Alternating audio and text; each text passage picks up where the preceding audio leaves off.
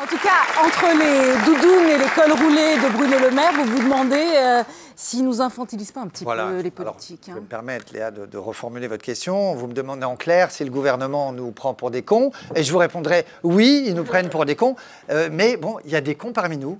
Euh, vous êtes peut-être assis à côté d'un con. Euh, vous êtes... Ah Oui, oui. Paul me dit, oui. Obligé, mais il est ici. Ah, il a, oui.